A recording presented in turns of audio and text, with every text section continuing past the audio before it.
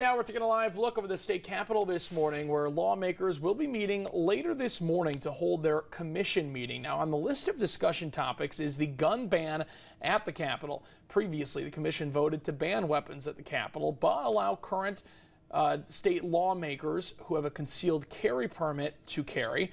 The meeting begins at 11 o'clock this morning. We're going to have much more on this coming up in our 11 a.m. newscast. Also